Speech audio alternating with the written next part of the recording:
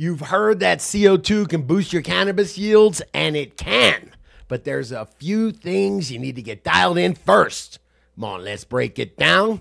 But before we do, today's video is brought to you by Real Grow Lab. If you want to connect with the best growers from all over the world, get tips and tricks on how to grow the dankest plants possible, and not have to worry about the censorship we get from YouTube, Facebook, and Instagram. Go check out realgrowlab.com. Get all kinds of great grow talk Q&A. Plus, see all the stuff YouTube won't let me show you in these videos. Sign up and join our growing community over at realgrowlab.com or download the app at the Apple or Android App Store. Now let's get back to today's video. Yeah, come on, Hi-C. This one's a difference maker. Okay, so I understand CO2 is what plants breathe in and what we breathe out. Yes. That's about as much as my knowledge goes on this one. Okay. Carbon. Carbon is the major building block of the plant material. It's all about carbon, right? Carbon is the building block of organic material. It's in cellulose, it's in glucose, all those things. You got the H2O, the hydrogen and the oxygen, and you combine it with the carbon, and that's how you build plant material. So the plant is made basically out of water and carbon. We know where the water's coming from. We need carbon. And there is carbon in the air, right? Yeah, it works. Nature works. There's about 400 parts per million of carbon in the air. That's why outdoors it's constantly getting replenished. You're never, it's not in a little sealed tent where you're running out constantly. So you can do really well. You've seen what outdoor looks like. You can grow huge, beautiful buds with full sun and just am, they call it ambient carbon. It means 400 ppm is what it is outside. And I've noticed inside my tent, sometimes my carbon dips. Yeah. Well, what's happening? We're pulling that, the plant is pulling that carbon out of the air. It is turning it into plant material. What is it? I know you'll roll your eyes, but glucose, which is what the plant makes, it is C6H12O6. All right. It's six waters and six carbons joined together to make plant material. Well, once they're in as plant material, they're not in the air anymore. So if you have a digital meter, you're going to see that CO2 meter, that carbon meter go down. So I usually will be sucking air out of my lung room Yep. into my tent to replenish the Yeah. carbon. You add carbon, you boost your carbon in your grow in your grow room. Yes, and this is the difference between almost like turbocharged engine and a normally aspirated engine. I've seen some great, you know, normally aspirated engines, and you throw a turbocharger on there, it does make a difference. Uh, what I guess it's, it's a good analogy. Uh, air is going into the engine that's going to supercharge it.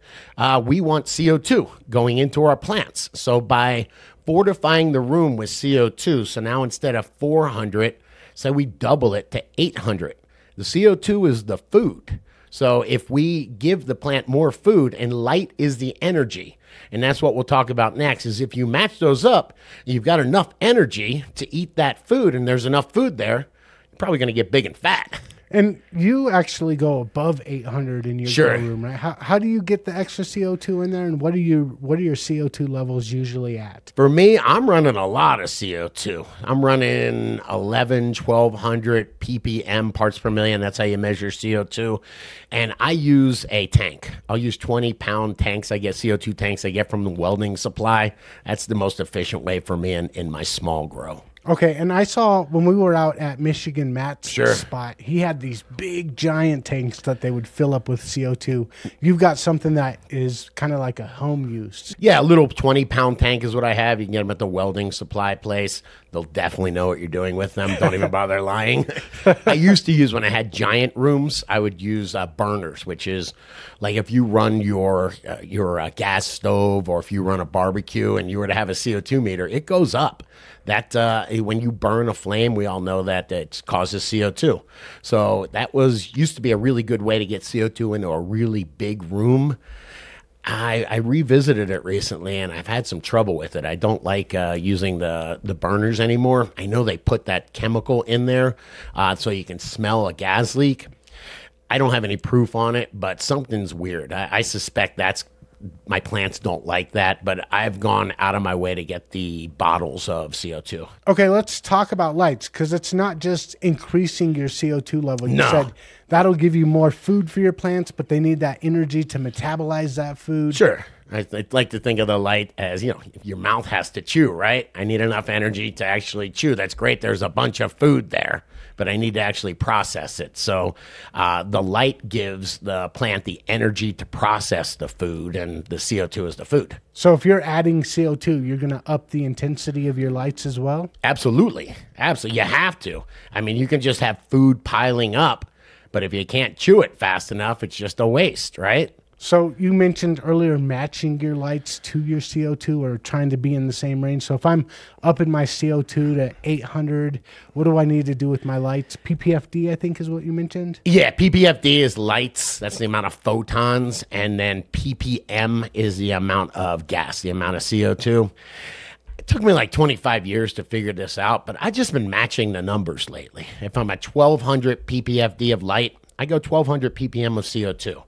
About 13, 1400 is about the maximum amount of CO2 the plant can absorb. And I think that's very similar to the amount of light, the DLI that the plant can get. Man, for 12 hours a day, I don't think it, you can use much more than that. So I'm going to measure the PPFD with a little meter at canopy level, and then I'm going to look at my digital CO2 meter and make sure they're they're very similar. And you're shooting for about 11, 1200 ppm of CO2 Mm-hmm. Yep. and about the same PPFD at the canopy level? Yep. And what hap- you just get diminishing returns. I know people that crank the CO2 up to 1500. I know people that crank their lights up to 1500. You have to run so much, it costs so much more power, so much more heat, uh, and you're probably hitting your DLI already. So I find so you'll see it if you look at charts, very much diminishing returns past about 1200 of either. So yeah, consider just topping out at 1200. You get great performance there. All right. So if I'm adding extra CO2, Sure. I need to take lights into account. I also need to adjust my temperature, humidity. How does that work? Yeah, you want to speed everything up. Think about if it's 65 degrees and I'm supposed to get moving. I could have uh, all the food that I need, all the oxygen that I need, but I'm still gonna gonna be chilly. You know, you get me up to that perfect temperature. I think room temperature, perfect temperature is around 77 for humans.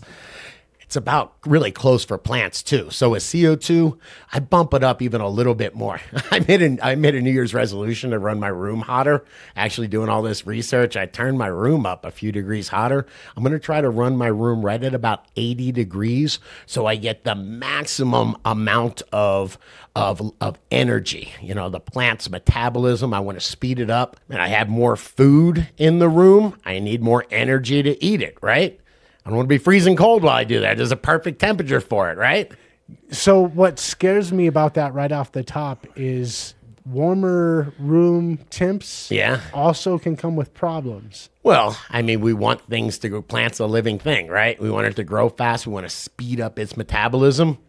It's not crazy to think that that's going to speed up the metabolism of other things like bugs, like fungi and mold and mildews. We all know they grow in hot, a lot of times hot, humid climates or hot, dry climates, but that heat does have a lot to do with that. So, yeah, when you speed up the plant's metabolism, you just expect everything else to speed up with it. So you better be on your game when it comes to IPM, pests, molds, and mildews. You really got to be looking out for them because everything's on turbo. And then the last thing that I'm thinking is as I'm going to harvest, do I want it to be 80 degrees in there still? I'm worried about my terpenes. Yeah, you know, I've been thinking about this and doing some research on it. And terpenes, you know how they call them secondary metabolites?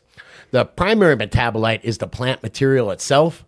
That's hard to make. That's that's you know you got to have carbon and oxygen. It has to be assembled, and the terpenes are a lot easier to make. They are carbon and hydrogen. So as the I, I realized this that even though the plant's not growing huge the last week or ten days, the terpenes are still piling on.